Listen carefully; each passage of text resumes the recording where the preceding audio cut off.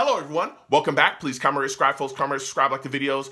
Also share the videos. I want to thank everyone that does like, watch, and share my videos. You folks are the absolute best. Listen, folks, there's a link to down below. Has the links to all of my social media platforms. Please go on there. Follow me across all my social media platforms and talk to me because I talk back. Also down there as well is a link to all of my YouTube pages. Please go down there, subscribe to all my YouTube pages, and turn on your notifications so when I post content, you folks will be in the know.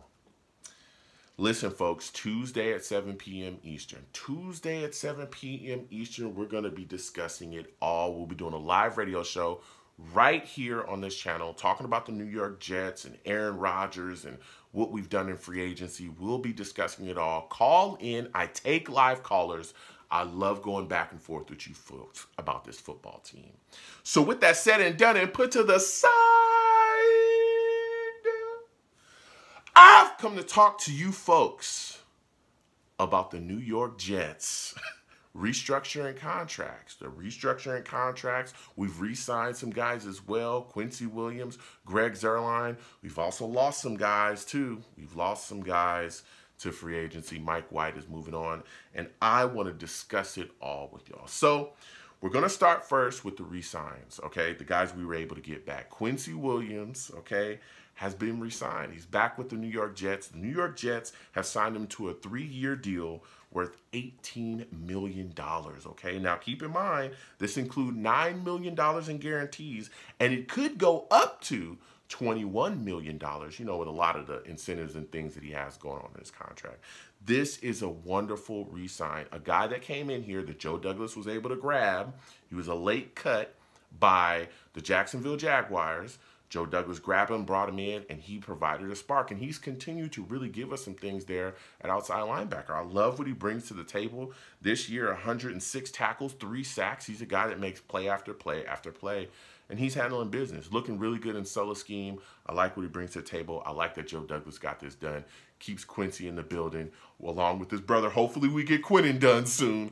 But, you know, the two brothers are here, and I'm happy about it. I'm excited for the Jets, and I'm excited for this defense.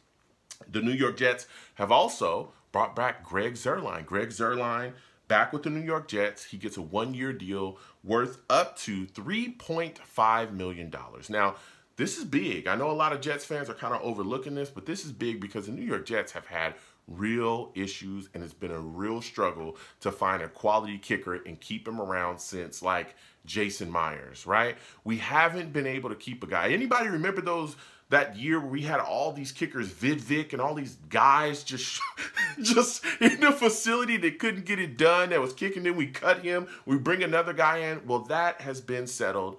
We got Greg, we brought him in. He did a solid job for us this past season, so we're bringing him back for another year. And I like this as well. Special teams is big. I think a lot of people lose sight of that a lot. And uh, getting Greg Zuerlein, keeping him in this building, keeping him here at kicker, getting some continuity there, allowing him to go do his thing is huge. Salutes to Joe Douglas for that. Now, let me tell you something. Mike White. Mike White has signed a two-year deal with the Miami Dolphins worth $16 million. And boy, do I not like this. I don't like this, okay? We lose Mike White in free agency. You know, at this point, everybody, you know, it's been reported that from Trey Wingo that we've got the deal done with Aaron Rodgers. It's not official yet. But when you look at the situation, Mike White was a guy that we saw that could be a very quality backup here. And not only just a quality backup, but when asked to step in and be a starter, he could go do that too. And that is huge in the NFL. Backups, having a solid backup quarterback is gigantic in the NFL because you just never know.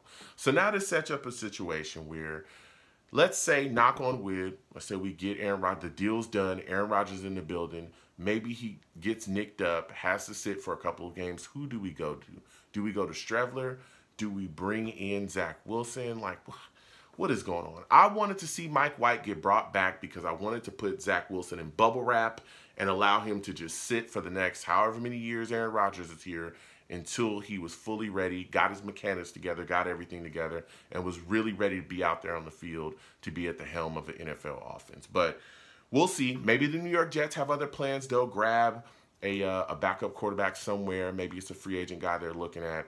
And uh, they just allowed Mike White to, you know, walk away and go to the Dolphins. So I, it sucks for me. I know, you know, people want to see him happy, but it sucks that we lose him. It also sucks that he's gone to such a hated division rival in the Miami Dolphins. So the Jets lose Mike White. Now we're gonna start talking about the New York Jets restructuring contracts and gaining cap space here. Now the New York Jets talked to DJ Reed Laken Tomlinson, Tyler Conklin, they were to sit down, restructure their contracts, and their rework contracts gave the New York Jets $15.2 million in cap space. That's huge. And what the Jets did was they converted their base salaries into signing bonuses and they prorated them over the final two years of the contract. Now, the downside of this, I guess, for people is like a little bit later on in the contract, it's going to be tough to cut them because you're really going to eat a lot if you do that. But guess what? You know, these are guys that have shown some things here. Tomlinson needs to step up because he's a little, uh, you know, this past season. But Conklin has been solid. DJ Reed, man, he's been phenomenal. He's been phenomenal. So, you know, they were able to create some cap space there, get 15.2 million back. They also uh, reworked John Franklin Myers' contract as well, brought him down, you know, to to save the New York Jets 4.8 million dollars in cap savings. So here we are sitting yeah, Joe Douglas was talking about that, that they were able to, you know, pull things together and they could really pull and get some real solid cap space here. And we're sitting at over $20 million in cap space. Keep in mind, CJ Uzomah had restructured his contract as well to get down from 10.3 to $6.7 million. We cut Braxton Berrios, which saved the New York Jets $5 million. I know that they've also approached CJ Mosley and his agents as well to try to restructure his contract, which is going to be big, man, because there's some guys with some questions here, and CJ Mosley is one of them. You look at this situation, $21.5 million, okay, is what he's going to count. I'm hoping the New York Jets can restructure that contract. I don't know what they can do, maybe extend them. I have no clue. But restructure that contract to get that number down. That is a lot to pay for an inside linebacker. You also look at the situation with Corey Davis. Corey Davis is a guy that could end up being cut, okay? $10.5 million is what he could save, you know, the New York Jets if they get rid of him. So we'll see what happens, especially with all the things swirling out there about possible free agents, especially wide receivers that could end up joining the New York Jets. Also, there's a movement here to extend Carl Lawson and also bring his number down as well, which would help the Jets as well. Jordan Whitehead is another guy with questions surrounding him and his contract, especially with uh, you know, us bringing in a safety as well, Clark. So we'll see what happens going forward with him. If the Jets get rid of him, that could save them $7.2 million. I'm not advocating for that. I like Jordan Whitehead. I know that there's a lot of fans that are going to want to get rid of him. I don't. I like him here, but he's a guy that could be – you know, on the border there with everything that's going on. So we'll see what happens going forward.